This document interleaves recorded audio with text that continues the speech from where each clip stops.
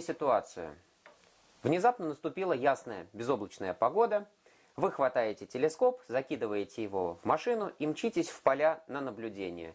Приезжаете на место, собираете телескоп, и тут выясняется, что батарейки в телескопе, он у вас, конечно же, с системой самонаведения, сели.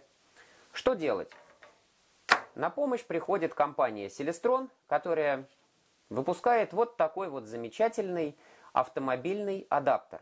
Всегда держите его в бардачке вашего автомобиля, и проблемы с электропитанием вас больше не коснутся. Два слова об этом адаптере. В вилке адаптера установлен предохранитель.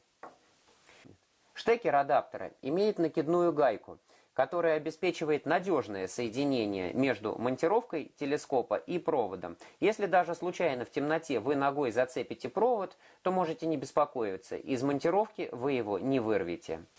Длина провода превышает 5 метров. Этого вполне достаточно, чтобы отойти от автомобиля и наблюдать с комфортом, не замечая теплого дыхания не остывшего двигателя. И еще раз напоминаем, не забудьте положить эту вещь в бардачок. Thank you.